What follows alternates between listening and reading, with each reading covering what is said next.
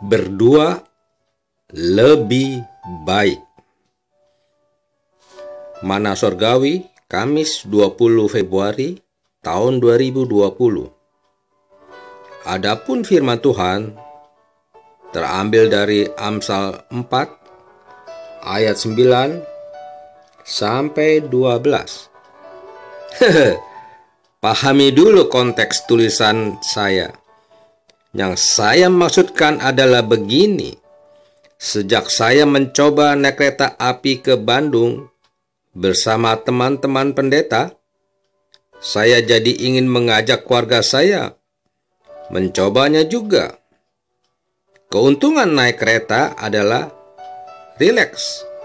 Waktunya pasti saya masih bisa kerja di kereta dengan berbagai urusan via HP dan toiletnya juga lumayan bersih. Jadi, Senin yang lalu saya ajak istri saya untuk mencobanya. Kamu hanya berdua saja karena yang lain tidak bisa ikut.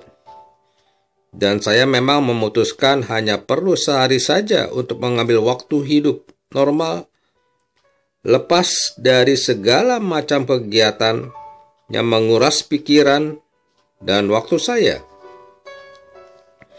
Kegiatan saya kelihatannya sudah melewati batas, jadi harus dikendalikan. Pada saat berangkatnya memang terasa sangat menyenangkan. Tiba di Bandung, kami langsung ambil taksi dan menginap semalam di Yellow Hotel Pascal yang di belakangnya ada pusat makanan Pascal. Dan hotel ini sendiri ada di samping Pascal Mall. Jadi tempatnya sudah tepat sekali. Karena hotel ini rekomendasi dari seorang jemaat jadi perlu juga dicoba. Saat di pagi harinya saya rasa amandel saya seperti membengkak menelan agak sedikit sakit. Mungkin akan flu. Tapi ya, perasaan senang saya karena berada di kota lain dan ini cukup mengurangi rasa kurang enak badan saya.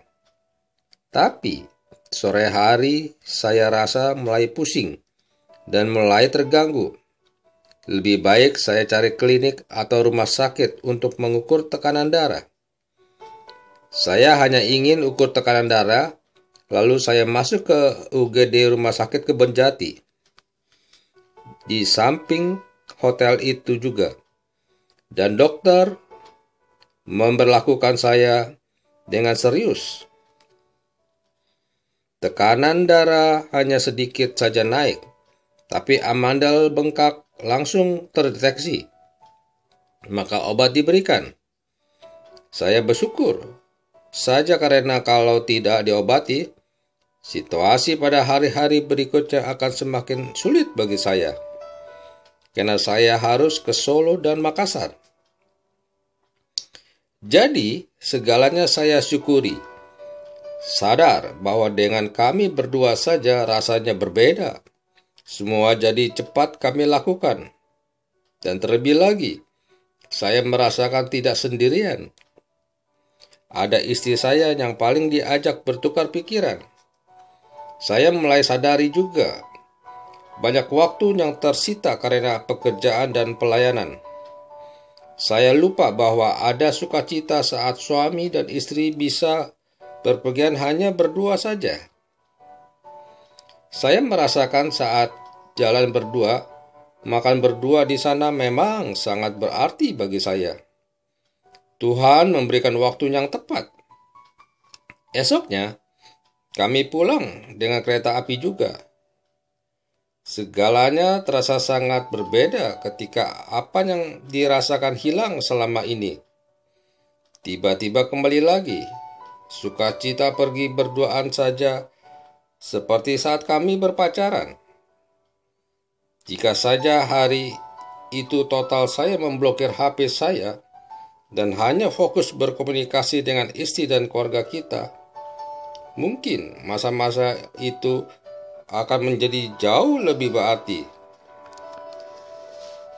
Memang, Betul juga, semakin berumur, kita harus berlatih kembali untuk hidup berdua suami dan istri lebih erat lagi. Kata-kata bijak Kehidupan suami istri harus dikembangkan menjadi kehidupan yang saling isi dan tolong-menolong. Mutiara kata hari ini, jangan mau jadi generasi instan yang hanya terima jadi saja. Dari Michael Jobson. Mari kita berdoa. Bapak, terima kasih untuk istri atau suami yang selama ini sudah mendampingiku dengan setia. Berkati lebih lagi kehidupannya ya Tuhan. Di dalam nama Tuhan Yesus, aku berdoa. Amin.